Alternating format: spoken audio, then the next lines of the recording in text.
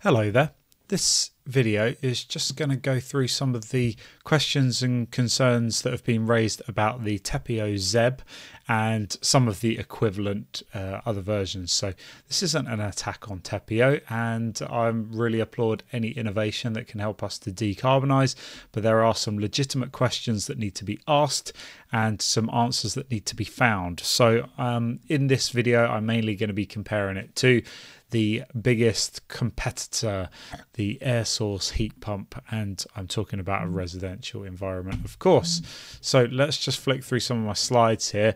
As a preface, um, this is not an attack. Uh, last time I spoke about another decarbonisation product, which I won't name, the company contacted me and sent me a really nice threatening uh, email with some great threats in there.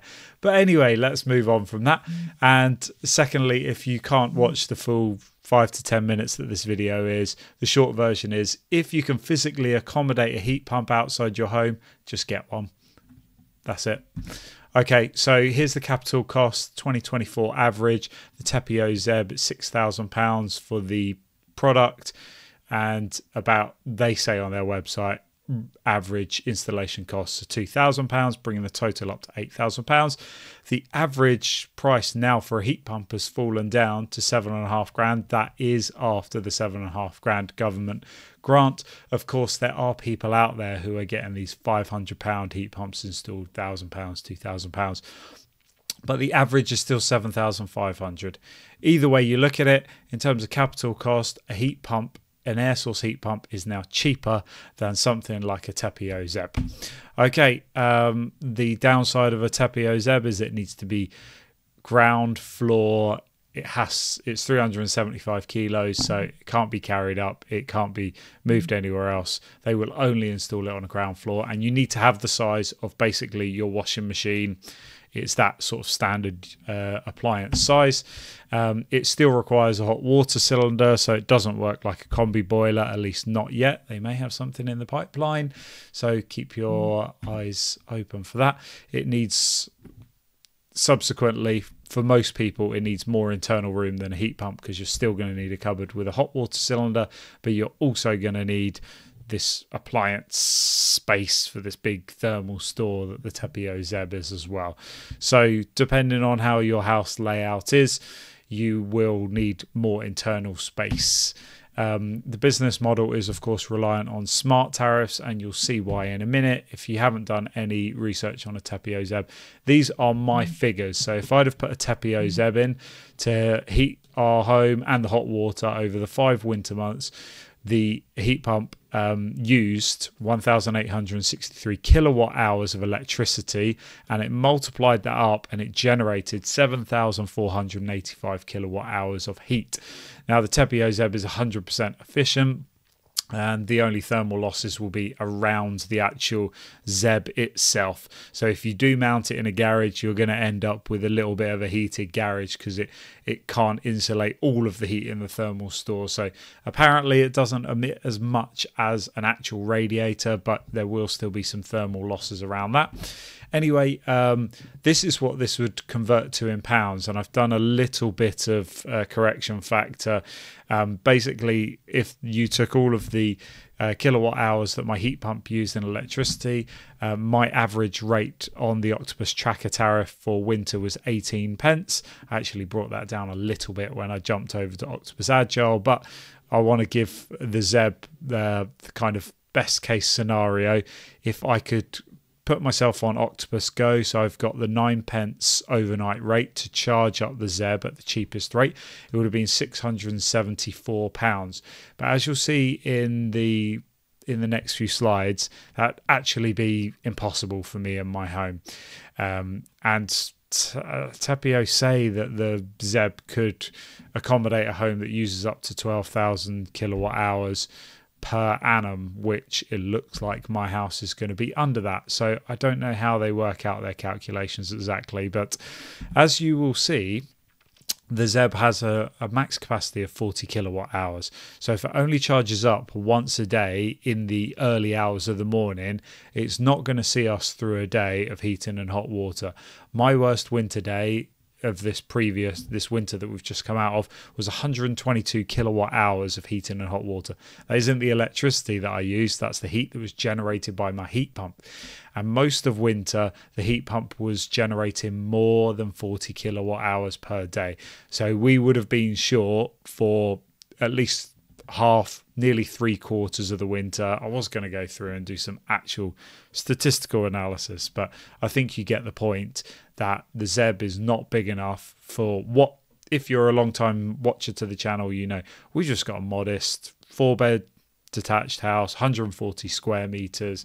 We're not living in Buckingham Palace or anything. And finally, something that uh, I've seen brought up a few times course, in many ways, there's a lot more moving parts in heat pumps, but they are a tried and tested technology. And people always talk about servicing, which on a heat pump it is more expensive than a gas boiler. We have to concede that. But Tepeo Zeb also requires servicing. So, what did I miss in this little slideshow? Let me know in the comments if this kind of content is helpful for you. Then do your YouTubey stuff, like and subscribe. Um, I I think that we need to all get on board with heat pumps and we need to help what in any way that we can to mm, help that transition and push things forward. And some of these other ideas and innovations, like this Tepeo Zeb, and I previously spoke about infrared heating, there can be some niche cases where these can work. There are some cases where people legitimately don't have any space outside for an air source heat pump, but those are few and far between. Between floor and wall mounting, most properties will be able to accommodate it.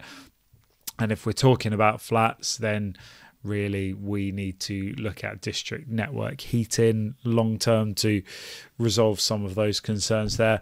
Um, what else did I miss? Um, yeah, these innovations can be good, but are they also potentially a distraction between heat pumps, which is from the energy that we are actively putting into it. it is an energy multiplier, but really it's just working on transfer and all that latent energy and bringing it inside our homes where we want it. So it's redirecting it. Mm. But as you can see, the capital cost, I mean, my heat pump, for example, the one on the right there that you see, that's a five kilowatt Vaillant. I've got a slightly bigger one, seven kilowatt.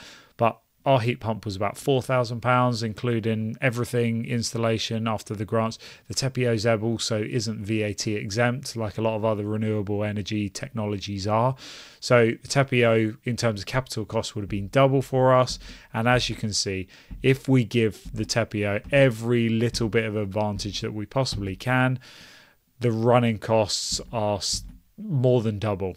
Here we go. 674 compared to 335. Okay, I that is, you know, it's all it's close to double. We could just say that the running costs would be double on a Tepeo Zeb compared to a heat pump if the Tepeo Zeb is reliant on a heat pump. But of course, those smart tariffs could change at any time, and then the Tepeo Zeb can completely fall mm. over.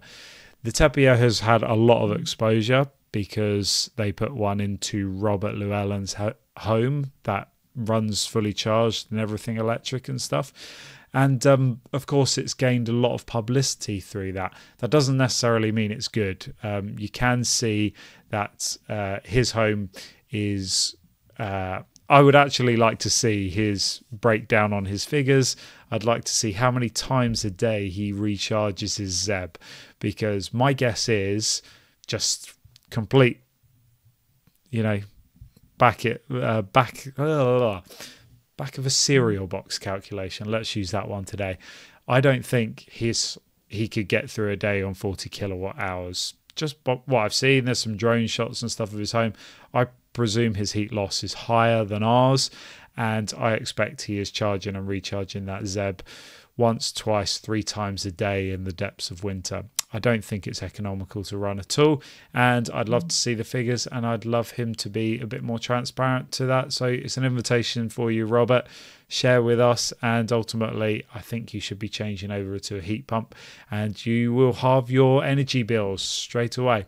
That's all from me and my cynical side and my pessimism, but a lot of you are asking, and I just wanted to put this down so that in the future, the next time someone asks, I'll just send them a link instead of retyping the same thing 50 times. Goodbye for now.